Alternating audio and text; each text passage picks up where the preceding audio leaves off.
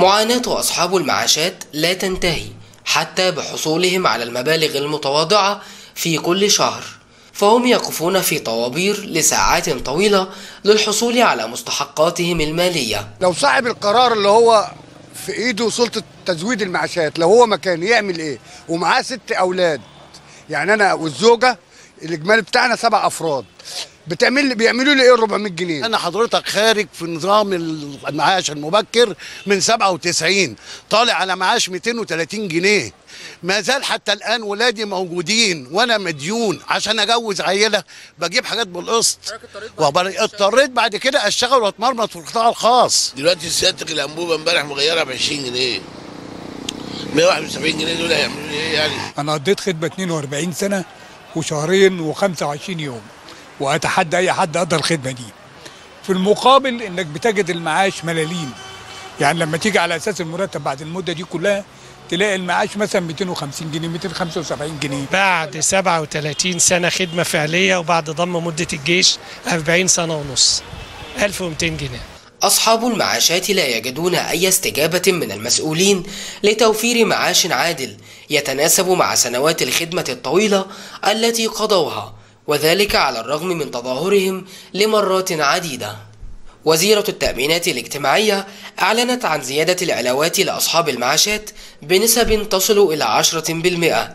زيادة يرونها هم غير كافية. لأن هو دلوقتي طول ما هو مش متحكم في الأسعار فالزيادة مع التضخم التضخم بياكل ده هو لما بيعلن مثلا الزيادة في سبعة من خمسة وستة وسبعة بتكون الزيادة تمت. إحنا أصحاب المعاشات دلوقتي مهمشين ما لهمش أي حقوق. النظام السابق والنظام الحالي ما خدناش أي حاجة من الوعود اللي وعدونا بيها. يعني حضرتك اللي في الخدمة بياخد 8 امتيازات بياخد علاوة اجتماعية وعلاوة آه الدورية وبياخد حافز وبياخد أرباح وبياخد إضافي وبدل طبيعة وبدل وجبة.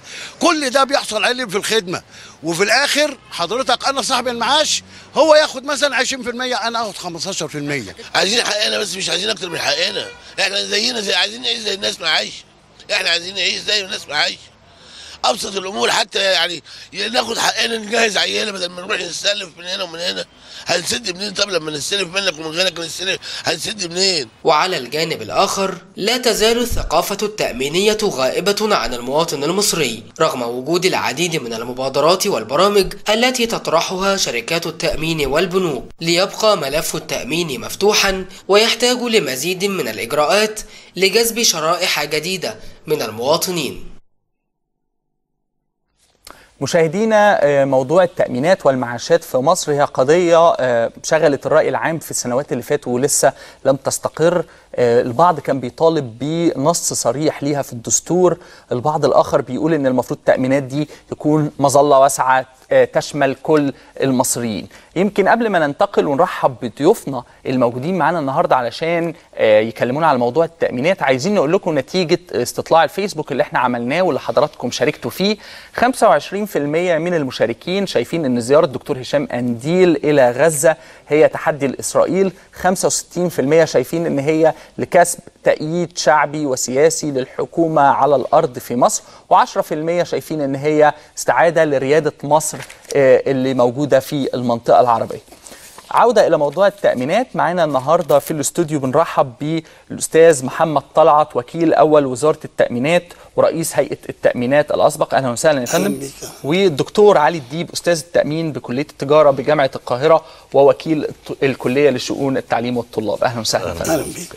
أه هبتدي من عند أستاذ محمد الأزمة اللي كانت موجودة في أموال التأمينات. هل انتهت واستعادت هيئة التأمينات أموالها من وزارة المالية؟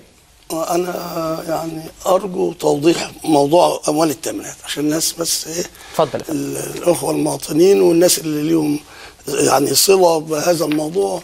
إحنا عايزين نقسم أموال التامينات دي لثلاث أجزاء يعني. بنك الاستثمار انشئ في سنة 81 بالقانون 119 والفق المادة الخامسة على صناديق التأمين. الاجتماعي أو هيئات التأمين الاجتماعي أن تنقل احتياطاتها ببنك الاستثمار زائد إن الوفرات أو الفوائض أو الاحتياطات تودع مستقبلا في بنك الاستثمار. في من أموال التأمينات جزء كانت الدولة بتقترضه الخزانة بتقترضه من بنك الاستثمار من أموال التأمينات المودعه في البنك لسداد لسد العجز المتوالي في السنوات من 82 وسيادتك بقى إيه؟ وبترجعه للصندوق بفايدة معينة؟ لا لا لا لا كان الناس بتقول لا- ان الفايدة دي لا، أقل. ما أنا هقول هوضح.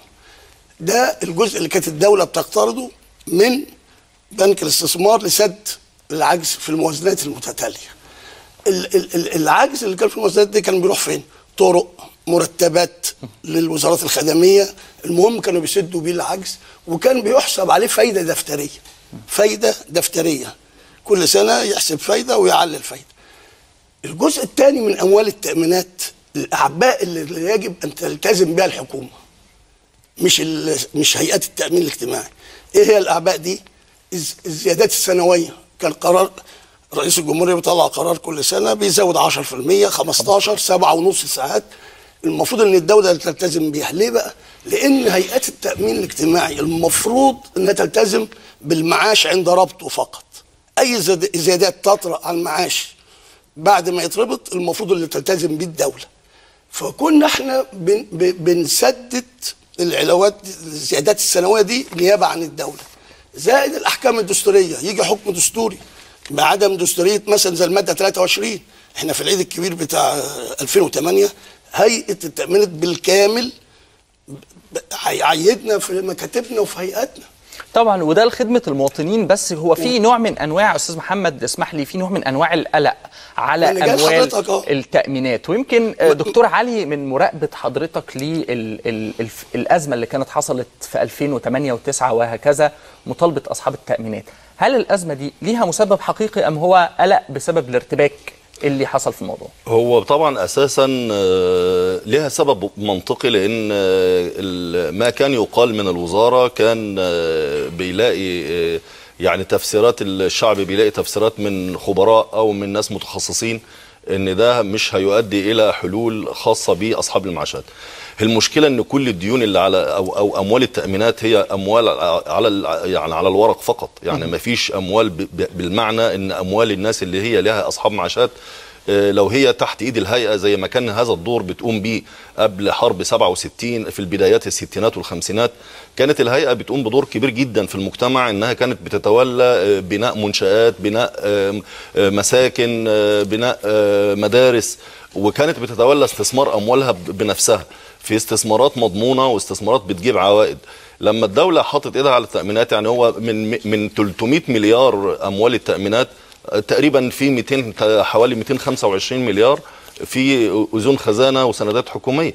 طب هل هي دي فعليا فعليا موجودة؟ هي مش موجودة. يعني هو من لو انت عايز دلوقتي تستقل بالأموال دي وتاخدها وت- والهيئة تدير أموالها وتستثمرها مش بشكل هتلاقي تاني مش هتلاقي. مش هتلاقي الكلام. ده وهو خصوصا إن هي لو تح لو لو حسابيا حتى لو كانت الدولة بتتحمل أعباء الزيادات وهي ما كانتش بتتحمل حتى لو ده كان بيحصل برضه نتيجة إنه لو كانت الأموال بتص- بتدار استثماراتها بط- بطريقة بعيدة عن سيطرة الحكومة كانت آه، مضاعفة المعاشات هتتم والزيادات هتتم من خلال الهيئة برضه مش لازم تلجأ للدولة ولا حاجة لكن إحنا ما زلنا بنت... الدولة نظرتها إن دي فلوس الدولة وبالتالي هي ترعى شع... الشعب و... و... فاللي بتاخده من الأموال أو أو أو سيطرتها على الأموال بتتحجج إنها بتضمن المعاشات. طب أنا هسأل حضرتك سؤال مباشر. هل أموال التأمينات آه، في شكلها الحالي الموجود هي في أمان أم في خطر بسبب إن الحكومة بتستثمرها بشكل آخر وبتقترضها بشكل آخر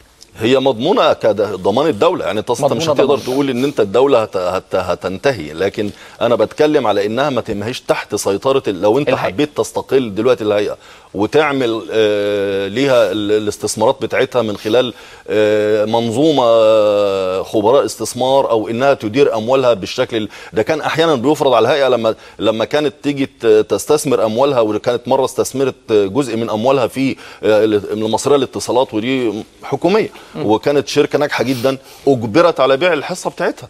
ودي دي دي مشكلة. طيب أستاذ محمد آه، مظله التأمين حاليا في مصر هي لا تشمل الجميع. يعني موظفين الحكومة آه بيبقى ليهم تأمينات والمعينين في بعض القطاع الخاص. لكن في اللي هم موجودين في الاقتصاد العشوائي اللي هو خارج عن المظلة الرقابة الحكومية. ماشي. كيف يمكن إن آه، يتم احتواء هؤلاء في تحت مظلة التأمين. هو تسمح لي بس أكمل جزء بتاع عمل التأمينات ده لأن ده مهم جدا. فاضل فيه بس جزئيه لحضرتك صغيرة. يعني إحنا ننتقل لموضوع ماشي. اللي هو الانضمام ده لمجرد لضيق الوقت آه. وحضرتك تقول لي إزاي ممكن نضمه. لا هو هو مظلة التأمينات منتشرة تماما ومعظم الناس متغطية. دي مش عايزة كلام اسمها تغطية تأمينية موجودة. يعني موظفي الحكومة ده تأمين ما فيهوش آه، تهرب.